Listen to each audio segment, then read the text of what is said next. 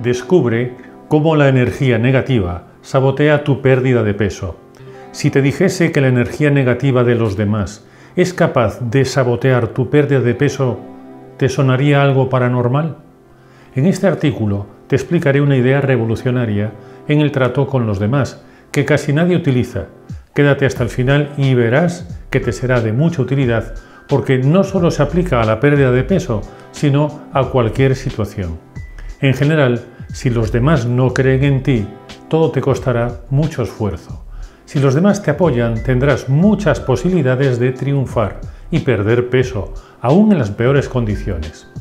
En este artículo aprenderás cómo influye la energía negativa de los demás en tu desempeño y cómo puedes influir con tu energía positiva en conseguir lo mejor de otras personas.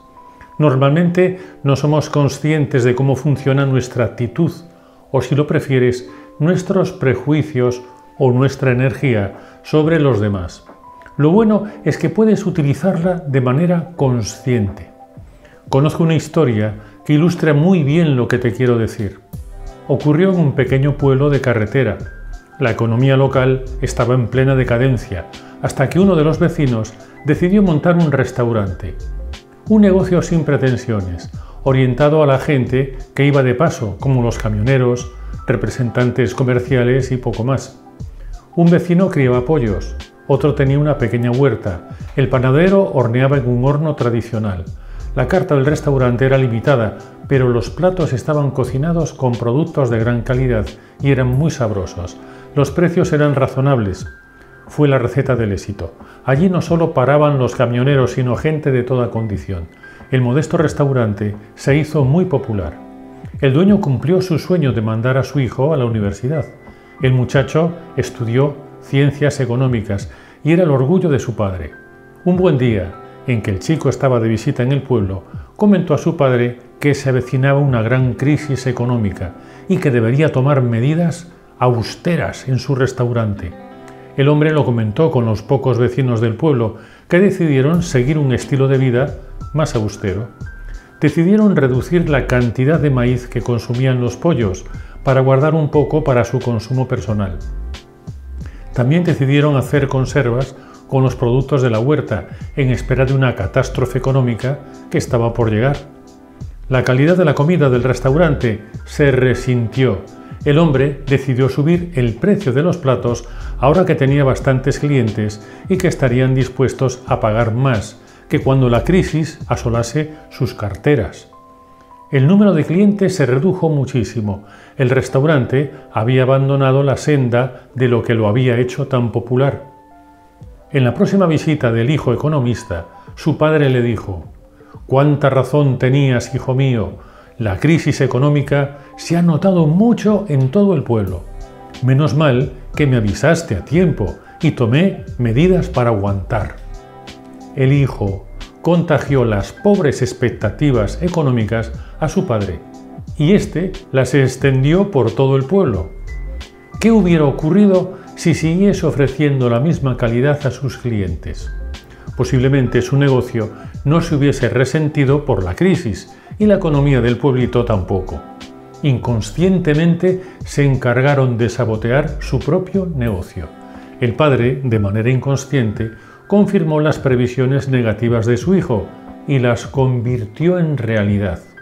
Esto no quiere decir que cuando alguien haga alguna predicción negativa sobre algún aspecto negativo de tu vida, se vaya a convertir en realidad automáticamente. No es una maldición, es que la energía negativa tiene un enorme poder de sugestión. La energía negativa de los demás no es brujería, sino algo que suele suceder a nivel inconsciente a través de un proceso de autosugestión. Puedes aplicar el mismo poder de autosugestión a cualquier catástrofe, ya sea una pandemia o una crisis de pareja. Según cómo utilices las expectativas de los demás, podrás triunfar aunque las condiciones estén en tu contra o podrás fracasar con todo a tu favor. Hay tres modalidades básicas para sugestionar a una persona utilizando la energía negativa. 1. La manía de poner etiquetas a los demás. También se conoce como el efecto Pigmalión, consiste en construir una expectativa sobre un aspecto de la vida de otra persona. Podría ser una expectativa negativa, lo que llamamos energía negativa. Por ejemplo, cuando alguien anuncia en su entorno que quiere bajar de peso, es posible que oiga comentarios de este tipo. Me resulta frustrante ver que intentas bajar de peso una y otra vez, porque nunca lo consigues. O por ejemplo, no sé para qué lo intentas.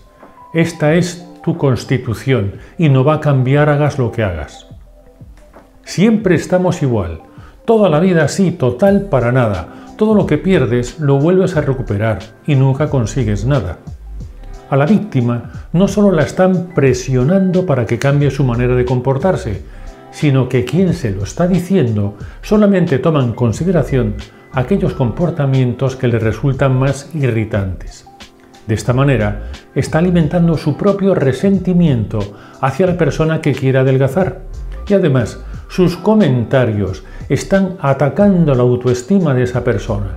Así la persona que te etiqueta hará que todo te resulte más difícil.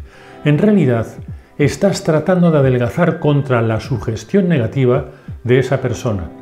Las expectativas positivas del entorno también pueden actuar como apoyo y ayuda. Cuando las personas de tu entorno te prestan más atención, lo van a convertir en una energía positiva para que adelgaces y para que tu autoestima crezca. Es muy conocido el experimento de Robert Rosendahl y Linor Jacobson de 1968 al que se ha llamado efecto Pigmalión en el aula. A un grupo de profesores de primaria se les dijo que tras realizar un test de inteligencia a los alumnos se había comprobado que un grupo de ellos era muy inteligente. Meses más tarde, los profesores confirmaron que esos alumnos eran los mejores. Lo que no sabían los profesores es que aquel test de inteligencia no se había realizado. Los alumnos habían sido elegidos al azar y no eran más inteligentes que el resto. ¿Cómo pudo ocurrir que aquellos profesionales de la enseñanza cayesen en ese supuesto error? Porque la mentira creó en los profesores unas expectativas muy positivas con respecto a esos alumnos y sin ser conscientes de ello, les prestaron más atención. Su actitud hacia ellos fue distinta y los muchachos se sintieron más estimulados a estudiar por la actitud de sus profesores. Lo que se les había dicho a los profesores fue confirmado por los resultados obtenidos en clase, pero los profesores no fueron conscientes de que habían tratado a sus alumnos de manera diferente, porque creyeron que eran muy buenos alumnos y les dieron el trato que habitualmente reservaban para los que eran más receptivos a sus enseñanzas. Esa creencia de los profesores los animó a dar un trato más atento, que sirvió de estímulo para que se convirtiesen en muy buenos alumnos en el mundo real. Lo mismo sucede con la energía negativa y las etiquetas que denigran a las personas. Cuando esperamos lo peor de los demás, eso es lo que estamos provocando. Estaremos saboteando los ánimos de los demás y haciendo que nos den su peor imagen como reacción a nuestra energía negativa. Siempre te digo que lo que nos preocupa no es lo que nos ocurre, sino cómo nos lo tomamos. Con la energía que nos transmiten los demás ocurre lo mismo. Nos lo podemos tomar muy mal y reaccionar aún peor. Así estaremos provocando un comportamiento que nos perjudica. Si alguien te dice que no vas a ser capaz de bajar de peso y te lo recuerda constantemente, puede ayudar a que reacciones con tanta rabia que podrías tomarte un pequeño fracaso como la confirmación de que las peores expectativas de la otra persona van a cumplirse. Y eso te desanimaría muchísimo, porque estarías contagiado de esa energía negativa. Tratar de bajar de peso con toda esa energía negativa hará que sea muy difícil conseguirlo. Pero ¿qué ocurre cuando sabes lo perjudicial que es la energía negativa y cómo puedes sabotear tu intento de adelgazar. Que tendrás mucho cuidado y harás lo posible para evitar la mala influencia de esa persona.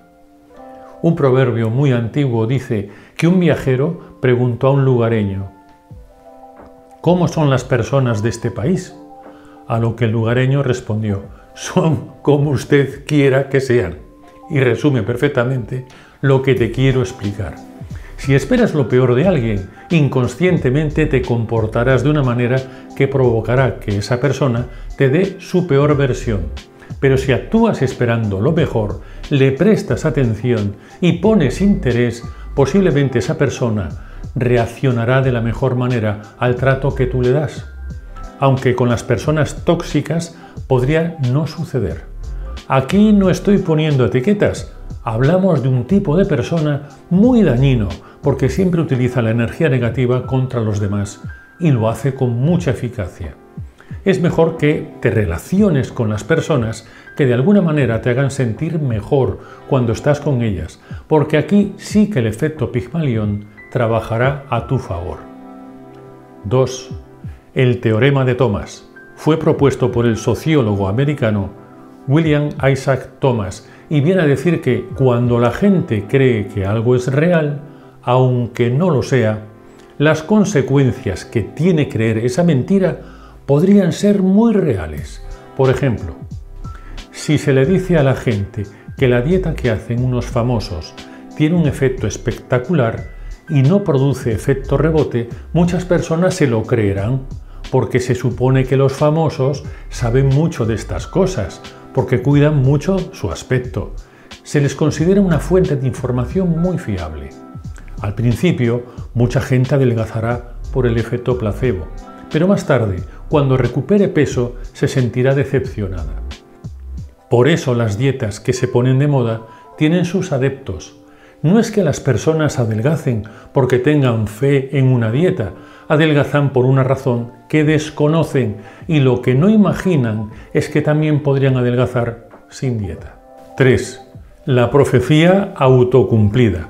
Es un término que se debe a Robert K. Merton. Consiste en hacer una profecía falsa que va a hacer que las personas implicadas se comporten de tal manera que la profecía falsa se convierta en verdadera. Es decir, nuestras expectativas irreales pueden hacer realidad una mentira. Por ejemplo, imagina que alguien piensa que es muy difícil que las mujeres adelgacen durante la menopausia. Cuando trata de ayudar a adelgazar a las mujeres menopáusicas de su entorno, les transmite muy poca confianza en que puedan adelgazar. Da por hecho que fracasará y pierde el interés por ayudarla a afrontar aquellas dificultades personales que aparecen durante la menopausia, pero que no tienen nada que ver con el cambio hormonal y que son la verdadera dificultad que hace que estas mujeres no adelgacen. Esta persona pensará, ya lo sabía, las mujeres menopáusicas no pueden adelgazar, hasta creerá que se debe a la disminución de estrógenos. La causa real de que no adelgacen es su falta de confianza en las mujeres menopáusicas y como consecuencia no atender a sus necesidades sociales y personales. En realidad, te estoy explicando cómo actúan nuestros prejuicios, porque nos predisponen a tener un tipo determinado de energía negativa hacia los demás. Con nuestra energía negativa estamos ejerciendo un tipo de presión social negativa sobre la persona sobre la que reflejamos nuestras expectativas. Nuestras expectativas sobre el grado de desempeño de los demás pueden ayudar o sabotear a la persona que quiera adelgazar, pero por sí mismas no van a hacer que esa persona adelgace o engorde. No es magia, pero ayuda. Cómo te hablas se convertirá en cómo te tratas. La conclusión más importante de cuanto te acabo de explicar es que cuando le prestas atención a una persona y la apoyas con toda tu energía positiva, es muy probable que esa persona tenga un rendimiento superior a lo que es normal en ella, independientemente de si consigue o no alcanzar su objetivo.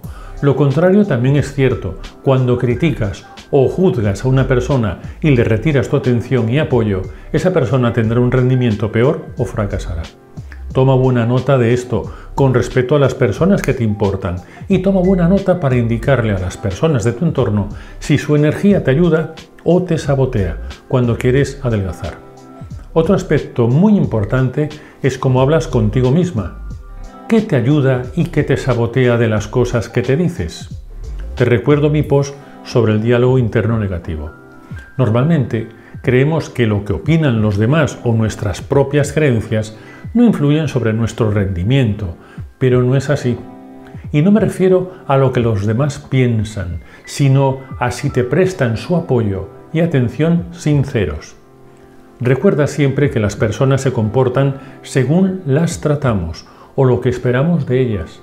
Trata bien a los demás o espera de ellos lo mejor y ayudarás a que sean la mejor versión de ellos mismos. Trátate bien a ti misma o espera lo mejor de ti y serás tu mejor versión, pero trátate mal y tu vida será muy complicada. Piensa que lo que diferencia a las personas no es la clase social, ni el nivel de estudios, ni la raza, sino el trato que reciben o lo que se espera de ellos. Esta es una de esas ideas que pasan desapercibidas y podrían cambiar el mundo. La buena opinión sobre nosotros mismos puede despejar caminos que nos llevarán muy lejos. Ten en cuenta que es necesario creer de verdad en los demás o en nosotros mismos, porque la falta de confianza es muy difícil de ocultar. Siempre es mejor actuar con honestidad cuando tratas de comunicar tus expectativas o tu energía. Seguramente sabes lo que es el efecto placebo. Se trata de hacer creer a una persona una sustancia sin ningún efecto sobre la salud es en realidad un eficaz tratamiento y se comprueba que puede conseguir la mejoría de los síntomas de una enfermedad real. El paciente crea unas expectativas muy positivas con respecto al falso tratamiento. Eso hace que su cuerpo segregue sus propias endorfinas con lo que sus síntomas mejoran. El placebo se encuadra en todo lo que te acabo de explicar y el paciente se siente aliviado realmente por una causa ajena al supuesto tratamiento. La mejoría se debe a las endorfinas fabricadas por su propio cuerpo. El efecto placebo también confirma que la utilización de las expectativas puede beneficiarnos mucho cuando esas expectativas trabajan a nuestro favor, pero también pueden perjudicarnos cuando las utilizamos para sabotearnos o cuando alguien pretende engañarnos.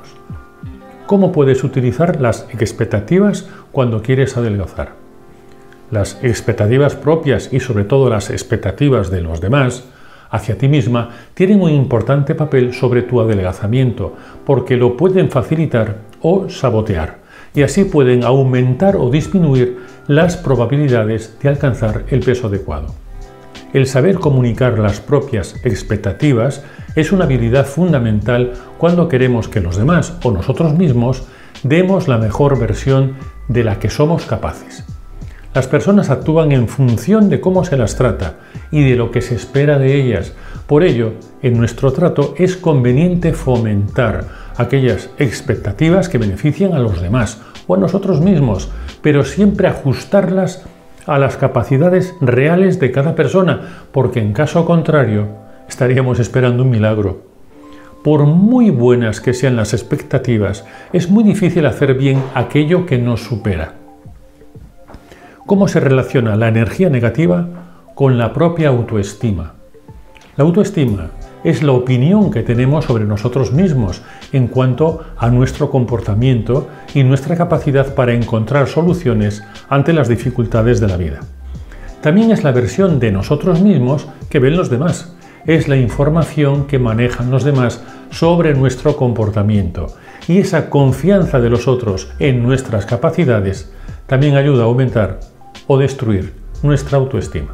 La confianza en uno mismo es lo que determina la manera en que resolvemos los problemas, cómo nos los tomamos, el significado que les damos, la capacidad de compromiso con nuestros proyectos, nuestra asertividad y la habilidad en las relaciones sociales. La autoestima se retroalimenta con los resultados obtenidos y en sí es una profecía autocumplida. Si esperas fracasar porque no confías en tus capacidades y ocurre que fracasas, tu falta de confianza se verá confirmada y dirás, ya lo sabía yo.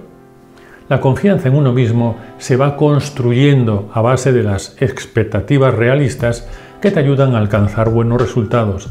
El éxito en tus proyectos refuerza tu autoestima porque confirma tu capacidad de hacer las cosas de la manera correcta, de estar en el buen camino y te anima a tener la actitud de esperar más éxitos derivados de tu buen comportamiento.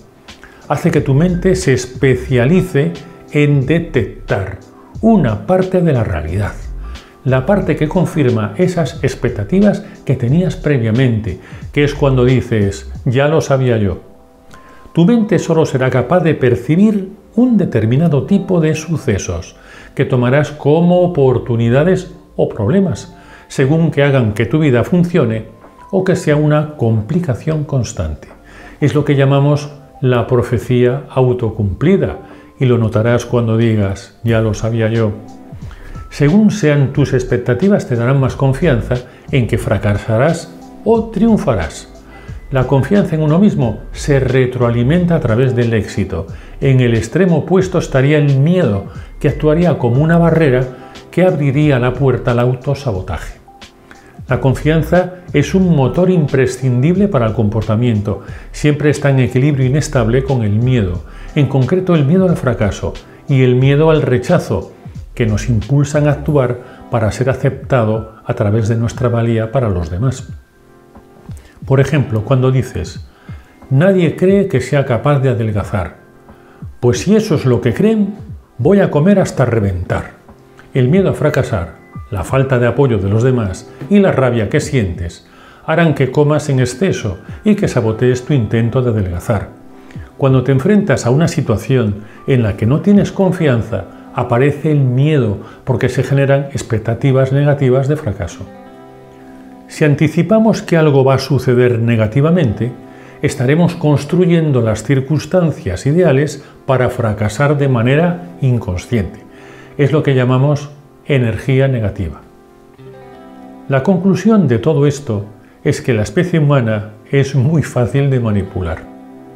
Las profecías autorrealizadas de tipo negativo son un autosaboteador muy eficaz porque provoca un círculo vicioso.